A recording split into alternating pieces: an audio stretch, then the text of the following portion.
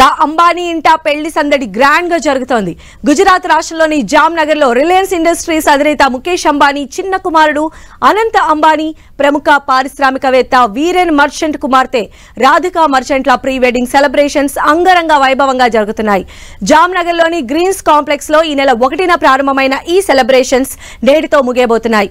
ఈ సెలబ్రేషన్స్లో దేశ విదేశాలకు చెందిన ప్రముఖులు పాల్గొంటున్నారు.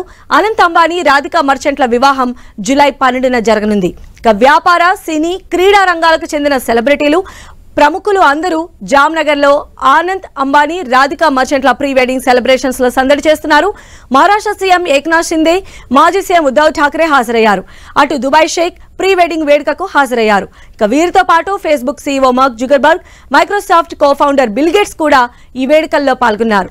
క్రికెట్ లెజెండ్ సచిన్ టెండూల్కర్ అంజలి దంపతులు షట్లర్ సైనా నెహ్వాల్ పారుపల్లి కశ్యప్ దంపతులతో పాటు సద్గురు జగ్గి వాసుదేవ్ సైతం హాజరయ్యారు.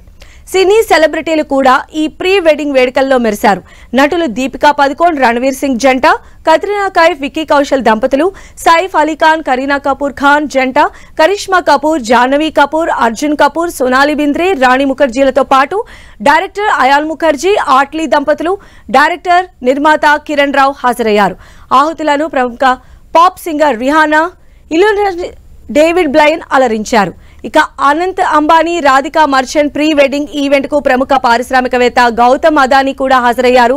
మహారాష్ట్ర సీఎం ఏక్నాథ్ సింధేతో పాటు శివసేన నేత ఉద్దవ్ ఠాక్రే సైతం పాల్గొన్నారు. దుబాయ్ ప్రధానమంత్రి షేక్ మహమ్మద్ రషీద్ అల్ ముక్తఫ్ కూడా ఈ వేడుకలకు హాజరయ్యారు. ఇక మరోవైపు ముఖేష్ అంబానీ కూతురు ఈషా అంబానీ ఈ వేడుకలో ఏంజల్లా మెరిసిపోయారు.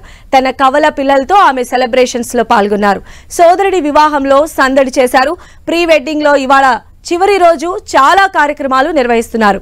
హెరిటేజ్ ఇండియన్ పేరుతో కార్యక్రమాలు నిర్వహించనున్నారు. హెరిటేజ్ ఇండియన్ డ్రెస్ కోడ్ థీమ్తో రాయల్ పార్టీ నిర్వహించనున్నారు. ప్రపంచం నలుమూలల నుంచి హాజరైన అతిథులకు ప్రకృతి మధ్యలో మధ్యాహ్న భోజనం వడ్డించనున్నారు.